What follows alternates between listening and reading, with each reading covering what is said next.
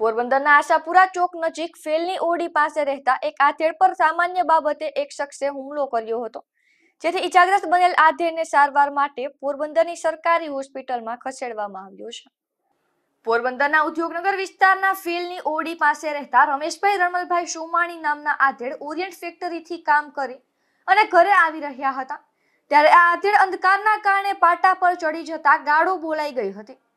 ત્યારે આ ગાળો નજીકમાં રહેલ ભાવલા નામનો શખ્સ સાંભળી જતા તેઓએ આ આધેડ પર લાકડાના ધોકા વડે હુમલો કર્યો હતો. જેથી ઇજાગ્રસ્ત બનેલ આધેડને સારવાર માટે પોરબંદરની સરકારી હોસ્પિટલમાં ખસેડવામાં આવ્યા હતા. રમેશ રણમલ સોમાણી. રમેશ રણમલ સોમાણી.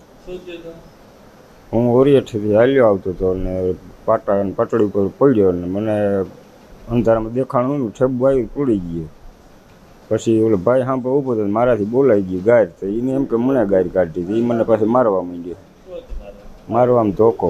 શું નામ છે મારા વાળા એનું નામ ભાવલો છે કઈ જગ્યાએ બન્યું ના ફેલની ઓળી ઉદ્યોગમાં.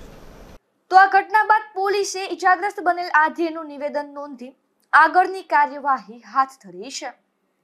વિપુલ રાઠોડ ગુજરાત ન્યૂઝ પોરબંદર.